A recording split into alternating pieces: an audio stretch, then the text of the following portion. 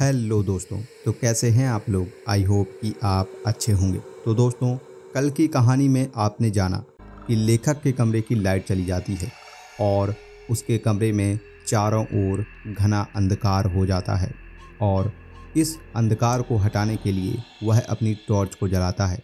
जब वह घर के बाहर टॉर्च जलाकर देखता है तो उसे घर के बाहर एक साया खड़ा हुआ दिखाई देता है, जो कि अंधेरे से भी काला था। इसे देखकर लेखक बहुत डर जाता है।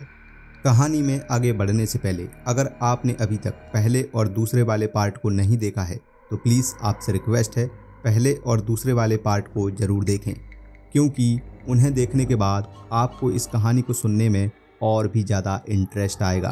तो चलिए दोस्तों, कहानी में आगे बढ़ते हैं। मेरा नाम है आकाश और मैं कहानियाँ सुनाता हूँ।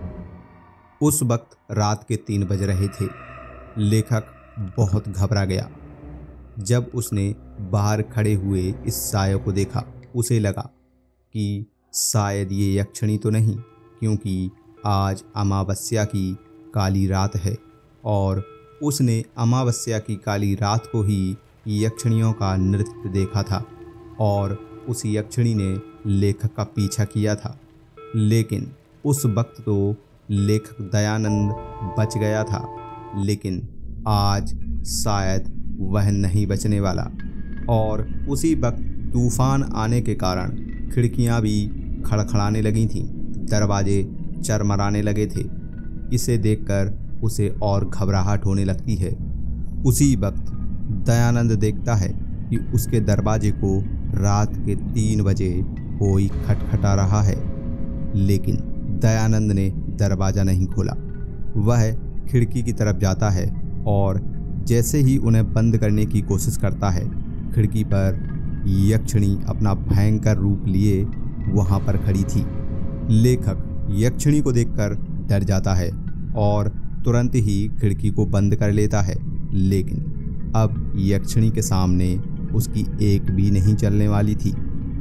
वह जैसे ही सभी खिड़कियों को बंद कर रहा था, अचानक से वह एक खिड़की को बंद करना भूल गया। और उसी खिड़की से वह यक्षिणी लेखक के कमरे में आ गई। यक्षिणी लेखक से कहने लगी, तुमने मेरा नृत्य देखकर अच्छा नहीं किया।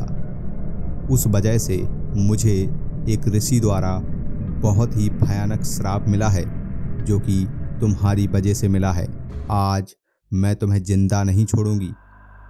लेखक डरने लगता है और कहने लगता है नहीं, मुझे मत मारो, मुझे मत मारो, मेरा बच्चा अनाथ हो जाएगा। मुझे मत मारो, लेकिन यक्षिणी अब उसकी नहीं सुनने वाली थी। उसने प्रतिज्ञा की थी कि तुझे मैं अमावस्या की काली रात को मौत के घाट उतार दूँगी।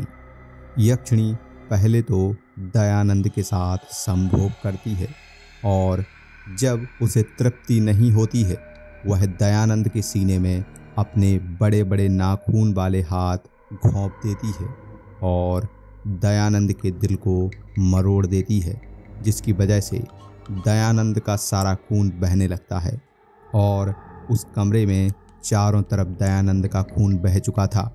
कमरा सुर्ख लाल हो चुका था। यक्षिणी ने जैसे ही दयानंद के सीने से अपना हाथ निकाला, दयानंद की मौत हो जाती है और उस वक्त सुबह होने वाली थी। यक्षिणी वहाँ से गायब हो जाती है। लेकिन लेखक के कमरे का पूरा फर्श लेखक के खून से सुर्ख लाल हो चुका था। लेखक का जो मकान था, वह मकान नहीं, एक बंगला था, जिसका नाम ब्लैक बंगला था। ब्लैक बंगला जंगल के पास ही था, जो कि गाँव से थोड़ी दूर था। सुबह होते ही कुछ गाँव वाले जंगल से लकड़ियाँ लाने के लिए उस ब्लैक बंगले से जाते थे। तभी सुबह के वक्त कुछ गाँव वाले वहाँ से गुजरे। उन्होंने देखा कि लेखक के कमरे के दरवाजे से खून निकल रहा है। जैसे ही उन्होंने वह सब देखा, वह घबरा गए और सोचने लगे कि आखिर इतना सारा खून दरवाजे के अंदर से बाहर कैसे निकल रहा है। उन्होंने सोचा, कुछ अनहोनी हो चुकी है। उन लोगों ने सभी गाँव वालों को इकट्ठा किया और लेखक के कमरे का दरवाज़ा खुला। जैसे ही दरवाज़ा खुला, लेखक की मौत हो चुकी थी। पूरा शरीर सफ़ेद पड़ चुका था। शरीर में एक बूंद भी रक्त नहीं बचा था। लेखक का सारा खून उस फर्श पर पड़ा हुआ था, जिसकी वजह से पूरा कमरा लाल हो चुका था। तभी उन गाँव वालों ने लेखक का अंतिम संस्कार किया। कुछ गाँव वाले कहने लगे कि लगता है लेखक को यक्षिणी ने मार दिया, क्योंकि लेखक यक्षिणी के ऊपर कहानी लिख रहा था। शायद यक्षिणी को पता चल गया होगा कि लेखक उसके ऊपर कहानी लिख रहा है, जिस वजह से यक्षिणी ने उसे मार दिया और उसका दिल निकाल लिया, जिस वजह से लेखक की मौत हो गई। उस ब्लैक बंगले को हमेशा हमेशा के लिए बंद कर दिया और लेखक की मौत के बाद कभी भी उस कमरे का दरवाज़ा नहीं खुला गया। तब से लेकर आज तक यक्षिणी ने किसी का खून नहीं किया, किसी का मांस नहीं खाया। लोगों को ऐसा लगा कि शायद यक्षिणी की प्यास बुझ गई होगी, जिस वजह से उसने लोगों को मारना छोड़ दिया। लेकिन आज संजू उस यक्षिणी का शिकार हो गया। लगता है फिर से यक्षिणी का कहर इन गाँव वालों पर बरसने वाला है। इतना कहकर गाँव वाला चुप हो जाता है और सालनी उसकी बात को सुनकर बहुत गुस्से में आ जाती है और कहने लगती है कि मैं अपने बॉयफ्रेंड का बदला लेकर रहूँगी और सभी गाँव वाले वहाँ से चले जाते हैं और शालिनी भी अपने घर चली जाती है। धीरे धीरे वक्त बीत रहा था। यक्षिणी का कहर लोगों पर बरसना बंद हो चुका था। लोगों को ऐसा लग रहा था कि शायद संजू के साथ संभोग करने के बाद यक्षिणी को तृप्ति मिल गई होगी, जिस वजह से उसका कहर अब धीरे धीरे बंद हो गया है। इस तरह लगभग पाँच साल बीत जाते हैं और तब से लेकर आज तक कोई भी गाँव वाला उस यक्षिणी का शिकार नहीं हुआ था। सालनी अपने बॉयफ्रेंड का बदला लेने के लिए लोगों के पास जा जाकर यक्षिणी के बारे में जानकारी इकट्ठा कर रही थी और कुछ तांत्रिकों से भी मिल रही थी ताकि उस यक्षिणी को इस जंगल से खत्म किया जा सके। इधर रिहान शहर से अपने गाँव रोहतांग आ रहा था। रिहान उस लेखक का बेटा था। जिसका नाम दयानंद था, जिसकी मौत यक्षिणी के हाथों हो चुकी थी। दयानंद की मौत के बाद रिहान शहर चला गया था और वहीं पर उसने पढ़ाई की और आज वह रोहतांग अपने गाँव वापस लौट रहा था, अपने उसी ब्लैक बंगले में। रिहान बस में बैठा हुआ था। वह सब सोच रहा था कि आखिर यक्षिणी की वजह से उसके पापा की जान चली गई। मम्मी पापा को बहुत रोका करती थी कि उस यक्षिणी की किताब मत लिखो, लेकिन मेरे पापा ने उनकी बात नहीं मानी और उस यक्षिणी ने उसके पापा को मार दिया। यह सब सोचकर, यह सब सोचकर वह अपने कानों में ईयरफोन लगाता है और मोबाइल के गाने सुनने लगता है और उसी बस की सीट पर बैठे बैठे झपकी लेने लगता है। लेकिन कुछ दूर पहुँचने के बाद लेकिन एक बूढ़ी औरत उस बस में आती है और रिहान के बगल में बैठ जाती है। रिहान के हाथ पर वह हाथ रखती है। तभी रिहान अपनी नींद से जाग जाता है। वह कहने लगता है, ये क्या बदतमीजी है? आप ये क्या कर रही हैं? तभी वह बूढ़ी औरत कहती है कि, बेटा, मैं तो बस ये जानना चाहती हूँ कि अभी क्या वक्त हुआ है? बूढ़ी औरत कहती है, बेटा, मुझे तो सिर्फ़ टाइम पूछना था कि कितना टाइम हुआ है, क्योंकि मुझे देर हो रही थी और मुझे जल्द से जल्द गाँव जाना है। रिहान उस बूढ़ी औरत को टाइम बता देता है। तभी रिहान पूछता है कि, दादी, आप कहाँ पर जा रही हो? बूढ़ी औरत कहती है कि, मैं रोहतांग गाँव जा रही हूँ। मैं सोच रही थी। तभी रिहान कहता है, क्या आप भी रोहतांग गाँव जा रही हैं? मैं भी वहीं पर जा रहा हूँ।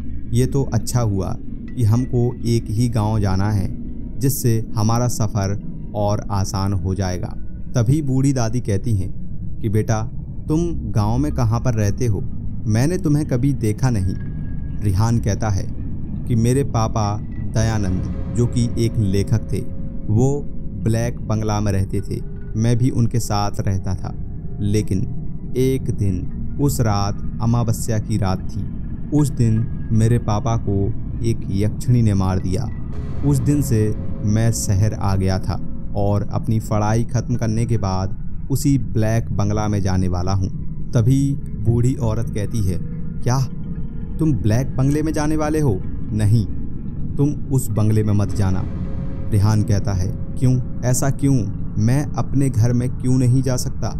बूढ़ी दादी कहती है, नहीं बेटा, तुम उस ब्लैक बंगले में मत जाना, क्योंकि जब से दयानंद की मौत हुई है, तब से उस बंगले को हमेशा हमेशा के लिए बंद कर दिया है। लोगों का ऐसा मानना है कि अब यक्षिणी का ठिकाना वही ब्लैक बंगला हो गया है, और वह कभी कभी कालिंदी नदी के तट पर भी भटकती है, कभी जंगल में भी भटकती है। पहले तो वह जंगल में रहती थी, लेकिन अब वह ब्लैक बंगले में रहने लगी। अगर तुमने उस ब्लैक बंगले का दरवाज़ा खोला तो हो सकता है कि पहले की जैसी मौतें होना शुरू हो जाएँ। तभी रिहान कहता है कि ऐसा क्यों हुआ दादी? कि यक्षिणी अब किसी को क्यों नहीं मारती है?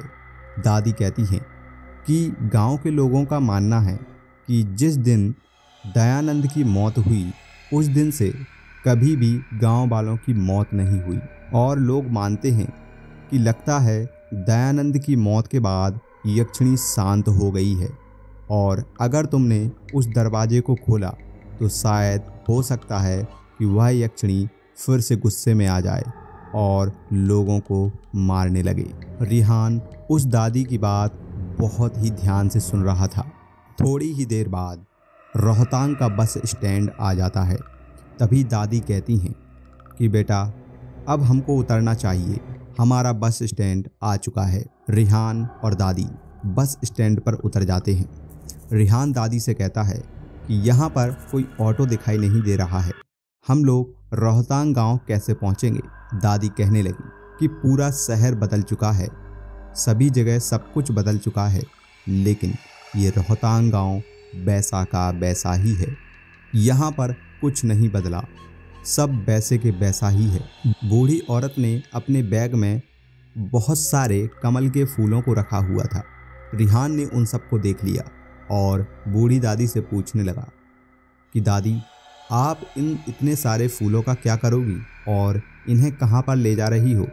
तभी दादी कहती हैं कि, बेटा, हमारे यहाँ पर कुछ पूजा है और उसके लिए मुझे इन फूलों की ज़रूरत है। इसलिए मैं शहर से इन फूलों को खरीद कर लाई हूँ। लेकिन तुम्हारी नज़र बड़ी तेज है। तुमने इन फूलों को देख ही लिया। तभी रिहान कहता है कि, दादी, आप यहाँ पर बैठिए। मैं अभी आता हूँ। दादी कहने लगी, अरे बेटा, कहाँ पर जा रहे हो तुम? शाम हो चुकी है, अंधेरा छाने लगा है। इस वक्त रोहतांग के बस स्टैंड पर यूँ अंधेरे में घूमना सही नहीं होता। रेहान इतना सुनकर थोड़ा घबरा जाता है और दादी से कहने लगता है, ऐसा क्यों? ऐसा क्या है यहाँ पर? दादी कहने लगती है कि जो यक्षिणी है, वो सिर्फ़ शांत हुई है, यहाँ से गई नहीं है।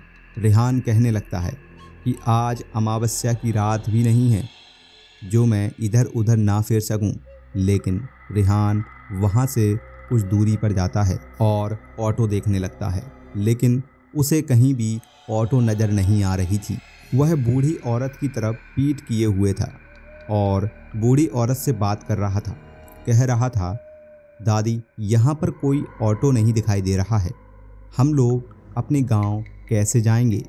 वह देखता है कि बूढ़ी औरत का कोई जवाब नहीं आ रहा है, तभी वह पीछे मुड़ता है। अचानक से वह क्या देखता है कि बूढ़ी औरत गायब हो चुकी है। वह सोचता है, ये कैसे हो सकता है? वो बहुत ही बूढ़ी औरत थी और इतनी जल्दी कैसे जा सकती है? वह सोचने लगता है कि शायद वह कह रही थी कि उसके घर पर जाए तो ऐसे ही पैदल चली गई होगी। चलो, कोई बात नहीं, मैं भी पैदल ही चलता हूँ। तभी वह रोहतांग गाँव के लिए जाने लगता है। अब उसे उस कालिंदी नदी को पार करना था, जिसके बाद एक घना जंगल था। और उस छोटे से घने जंगल के बाद उसका गाँव था रोहतांग, जहाँ पर वो जाना चाहता था। रिहान अपने गाँव की तरफ़ निकल जाता है। वह जैसे ही नदी की तरफ़ जाता है, उसे बहुत ही डरावनी और भयानक, खौफनाक आवाज़ें आने लगती हैं। लेकिन वह ठहरा शहरी लड़का। उसे इन सबसे डर नहीं लग रहा था, क्योंकि वह इन सब पर विश्वास नहीं करता था। उसको लगा कि यक्षिणी जो थी, वो अब शांत हो चुकी है। वह सिर्फ़ अमावस्या को आती थी और पूर्णिमा को। लेकिन अब वह यक्षिणी कुछ सालों से लोगों द्वारा देखी नहीं गई। तो अब मुझे डरने की कोई ज़रूरत भी नहीं है। वह नदी को क्रॉस करता है, लेकिन एक पाँव उसका पत्थरों के बीच फंस जाता है। तभी वह देखता है कि उसकी तरफ़ एक काला धुआँ सा आ रहा है। वह उसे देखकर बहुत डर जाता है और सोचने लगता है कि आखिर ये क्या है। वह जल्दी से अपने पैर को उस पत्थर से निकालता है और उस जंगल की तरफ़ भागने लगता है। तभी जैसे ही वह जंगल में जाता है, वह भटक जाता है। उस वक्त रात के लगभग दस बज चुके थे। बहुत अंधेरा हो चुका था। घना काला अंधेरा था, क्योंकि जो जंगल था वो बहुत ही घना था, जिस वजह से उसमें बहुत ही घना अंधेरा हो चुका था। रिहान को कुछ भी नज़र नहीं आ रहा था। रिहान ने अपनी टॉर्च को जलाया और जंगल के रास्ते से जाने लगा। लेकिन रिहान जिस रास्ते से जाता, उसी रास्ते पर वापस लौट कर आ जाता। वह सोचने लगता है कि मैं शायद रास्ता भटक चुका हूँ, क्योंकि जिस रास्ते से मैं जाता हूँ, वहीं पर फिर वापस आ जाता हूँ। वह अपने मोबाइल की तरफ़ देखता है, लेकिन मोबाइल में कोई नेटवर्क नहीं था। वह देखता है कि ये क्या? यहाँ पर तो नेटवर्क ही नहीं आ रहा है, जिससे मैं फ़ोन लगाकर किसी को यहाँ बुला सकूँ और अपनी टॉर्च को जलाकर गाँव के रास्ते को खोजने लगता है। तभी वह देखता है कि उसे किसी के चलने की आहट सुनाई देती है। इस वक्त घने जंगल में किसके कदमों की आहट आ रही थी? वह वहीं से एक लकड़ी उठाता है और अपने हाथ में ले लेता है। उसे डर लग रहा था, लेकिन वह थोड़ा हिम्मती भी था। उसने एक डंडा उठाया और वहीं पर बैठ गया। रिहान देखता है कि उसके सामने एक लड़की खड़ी हुई है। वह बहुत डर जाता है और सोचने लगता है कि ये क्या? शायद ये यक्षिणी तो नहीं, लेकिन उसे विश्वास नहीं था। वह कहने लगा, नहीं नहीं, ये नहीं हो सकता, क्योंकि यक्षिणी तो शांत हो चुकी है और इस वक्त यक्षिणी नहीं हो सकती।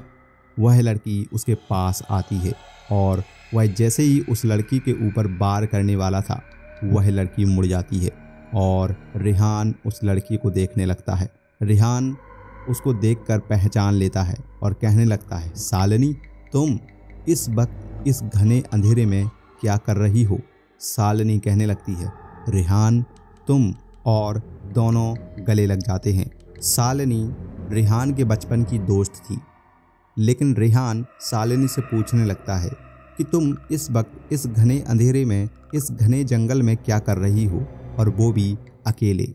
सालनी कहती है, रिहान, तुमको शायद पता नहीं है, मेरा एक बॉयफ्रेंड था, संजू। उसकी मौत यक्षिणी के द्वारा हुई है। मैं अपने बॉयफ्रेंड का बदला लेने के लिए एक तांत्रिक से मिली थी। उसने मुझे एक नींबू दिया है, जो कि मंत्रों से सिद्ध है, और उसने मुझे बताया था, इस नींबू को जहाँ पर भी तुम लेकर जाओगी, अगर ये नींबू उस जगह पर काला हो गया तो समझ लेना कि वहाँ पर यक्षिणी आ चुकी है, और तब तुम मुझे उस नींबू को लाकर देना। मैं फिर आगे कुछ करूँगा। रेहान सालनी पर हंसने लगता है और कहने लगता है, तुम अभी भी इन तांत्रिकों पर विश्वास करती हो। ये सब झूठे होते हैं पैसा ऐंठते हैं और कुछ नहीं। तुम्हें ये बेवकूफ़ बना रहे हैं। ये तुम्हारे बॉयफ्रेंड का बदला नहीं ले पाएँगे। सालनी उससे कहने लगती है, ऐसा नहीं होता रिहान, ये सच होता है। जब यक्षिणी होती है तो तांत्रिक भी होते हैं। तभी रिहान कहता है कि मैं इस जंगल में रास्ता भटक चुका था। ये तो अच्छा हुआ कि तुम आ गई, वरना मैं गाँव ही नहीं पहुँच पाता। सालनी ने पूछा कि अच्छा तुम गाँव में जाकर कहाँ पर रुकोगे? रेहान कहता है कि, मैं अपने बंगले, ब्लैक बंगले में रुकूँगा। तभी सालनी कहती है, नहीं, तुम उस बंगले को मत खोलना। अगर तुमने उस बंगले को खोला तो अनर्थ हो जाएगा। जब रिहान इतना सुनता है, बहुत घबरा जाता है।